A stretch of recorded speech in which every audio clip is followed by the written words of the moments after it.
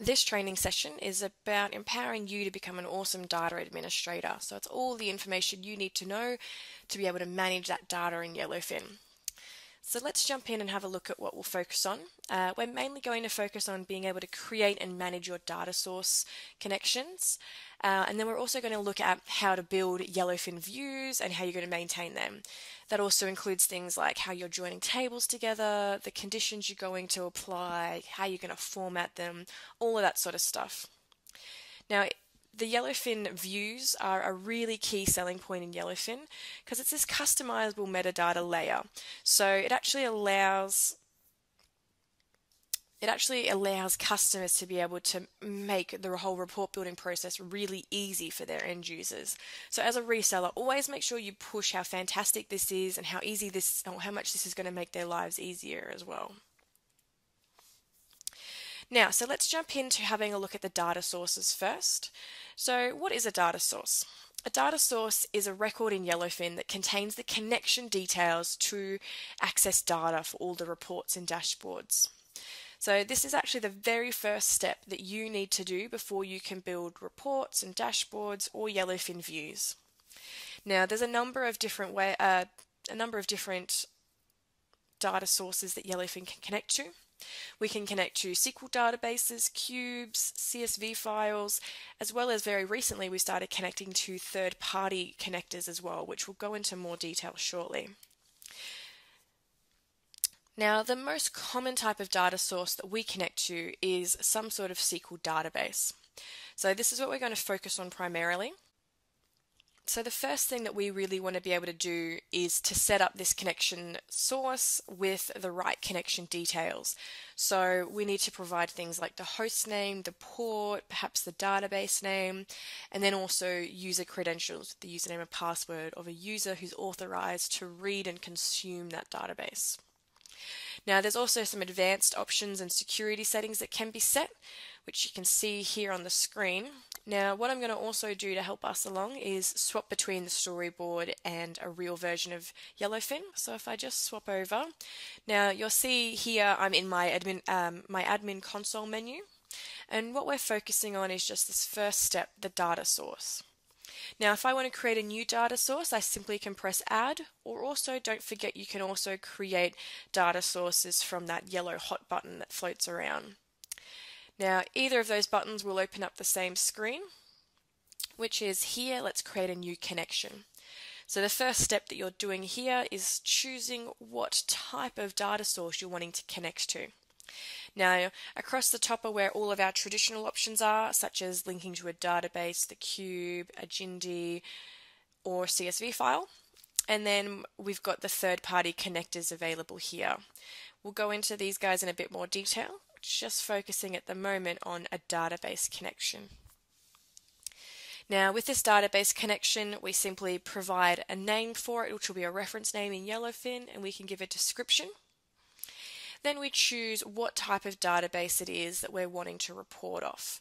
So you've got all of the major SQL, uh, SQL databases available here in the list, all of your Microsoft SQL Server, Oracle, Postgres, as well as your Microsoft Azure platforms as well. So there's lots to choose from. You simply scroll down until you find the one you're going to connect to. I'll just use Postgres as an example. Depending on the database type you choose, the settings below will adjust so that it makes sure it has all the right credentials for that type of database. So the next thing I would do would be to enter in my local host, oh sorry, my database host, which in my example I have a local version running.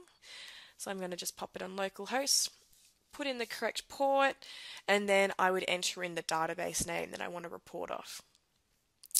Provide that username and password.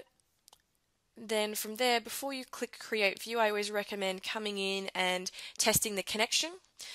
So I'll get either a connection failed or connection successful. There are also the other options here for that advanced connector, uh, sorry, advanced connection settings. So if I click that, oops, sorry, let me just add a name.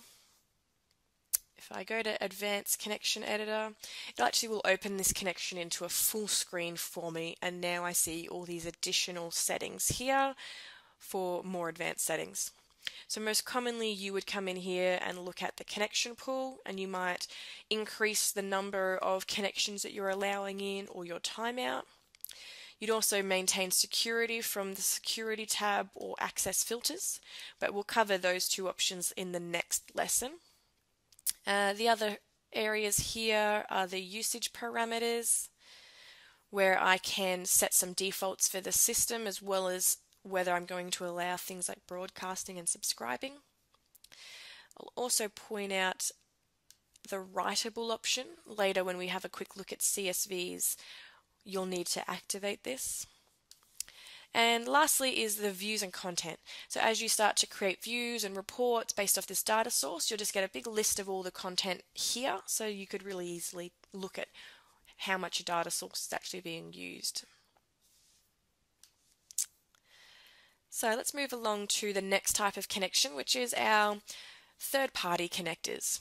So with third-party connectors, they're actually allowing us to connect to applications that previously we didn't have access to their data behind them because you didn't know the database details.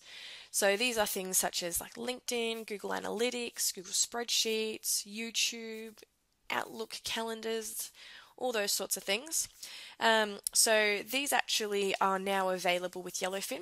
They don't necessarily come installed straight away. You may actually need to go to the marketplace and download them first. But they're all free to access. Um, and once you do sort of download them and connect to your data, they actually come with out of the box content that's ready for you to consume. So for example, if I was to download the, the YouTube connector and attach it to my YouTube channel, I'd actually would get a, a, dashboard instantly that has a bunch of reports on there about, you know, what videos have the most likes, the most views, all of that sort of stuff, saving me a lot of time. You can, of course, also build your own reports based on those these connectors as well. So to actually get them started, as I said, you do need to download what we call a plugin. So the plugin actually allows you to it gives it provides all the detail I suppose that Yellowfin needs. So these are available on our online marketplace. You will need a login to our customer portal to access these, but once you download them, you then navigate to your plugin management to install. So first let me just show you the Yellowfin marketplace. So if you go to our website and click on Marketplace, you'll then get a bunch of different things that are available for you to download. And if you just filter this down to connectors, it'll just make it easier for you to find the connectors here. So I can see a few available here. As I said, they're free and you just need to be logged into the website to be able to download them. So that will download a file I'm just now going to swap to my Yellowfin instance and if we navigate back out to my admin console, the plugin management screen is over here. So once I download that file, I would come to the plugin management screen and I would add in a new one and I'm just going to add the, the jar file that it downloads into here. So then it would get added to my list of available connectors. Now, so I want to be able to show you exactly how these get set up. So just as an example, I'm going to jump back to my admin console. I'm going to connect to our YouTube channel. So I'm going to press this big plus button and I'm going to add a new data source. This time rather than choosing the database option, I'm going to click on my YouTube connector. So what you get here is a, a, screen for a new connection, really similar to that database screen. But what we're going to do is connect to our YouTube channel. So you'll see how easy these are to really use. So all I do is simply give the the connection a name. So I'm going to call this the Yellowfin channel. Actually, sorry, I should call it the Yellowfin YouTube channel. And I'm going to request the pin. Now, so if you, you'll be asked to then enter in the, the username and password. So what I'm going to do is choose our Yellowfin email address and enter in the password. Now, depending on your YouTube channel, like that, that your account may be linked to numerous channels. So just make sure you do choose the right account. So I'm going to use this Yellowfin Business Intelligence one. And then I'm going to say yes, allow Yellowfin to access this. I then get given a code, so I simply copy and paste that into here for my pin and validate that.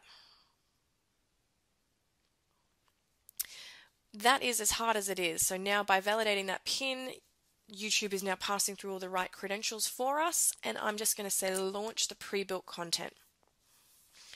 So what Yellowfin's going to be doing right now is it's installing all of the reports, the dashboards, and the Yellowfin views that I need to be able to now consume this YouTube dashboard. It's taken me to my browse page, um, and I can see right here at the most recent is a dashboard. It's called YouTube, so this is just brand new. It wasn't here before. And now I get to load through all of the YouTube reports. So complete out of the box reports there. I'd simply just press add and add this now to my dashboard permanently. And I can continue to manage and monitor how my channel is doing.